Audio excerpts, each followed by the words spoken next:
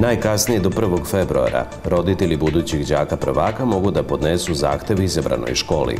Ova mogućnost odnosi se samo na decu koje su rođene od 1. marta 2006. do 28. februara 2007. godine.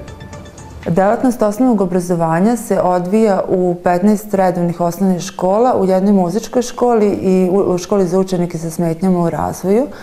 Nastava na mađarskom jeziku za učenike prvog razreda odvijaće se u osnovnoj školi Feješ Klara u Kikindi, u osnovnoj školi u Ruskom selu i u osnovnoj školi u Sajanu. Roditelji mogu da se informišu kom području pripada njihovo dete u sekretarijatu za društvene delatnosti opštinske uprave opštine Kikinda u kancelariji broj 17. Škola može da upiše i dete sa područja druge škole u skladu sa mogućnostima te škole.